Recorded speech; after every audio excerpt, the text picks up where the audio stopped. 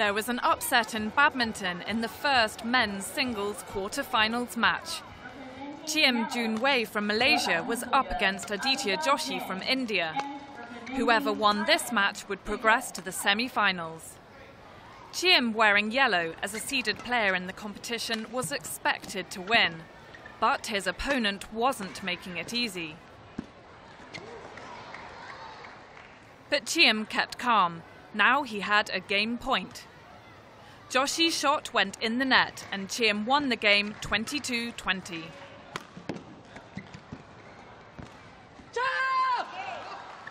The second was also fairly even, but this time the Indian player came out on top. The match would now go to three games. Joshi dominated the third. By the closing stages, he had an eight point lead and match point. Aditya Joshi was through to the semi finals. He beat Cheam 21 points to 12, two games to one. Women's singles was up next, and there was a closely contested match between the top seed Akane Yamaguchi from Japan against Indonesian Ruselli Hartawan. Yamaguchi had won the first game easily, 21 6, but playing here in the second, the top seed, wearing pink, was struggling.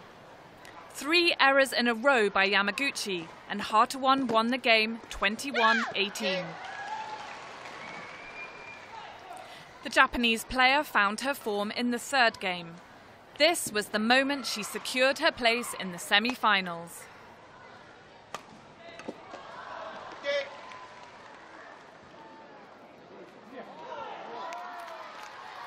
Top seed Shi Yuqi from China demonstrated real class in his match against German Max Weisskirchen.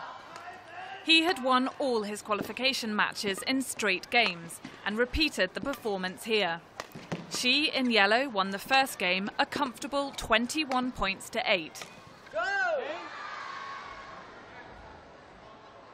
The second game was tighter, but there was no doubt that it was a deserved victory for the Chinese player. Shi won the game 21 15 and was in the semi finals. Another semi-finals place would be decided between Kanta Tsuneyama from Japan and Indonesian Anthony Sinisuka Ginting. Their match went to a third game.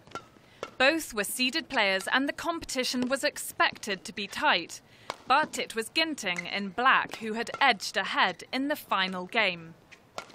He won 21 points to 12 and would go through to the semi-finals.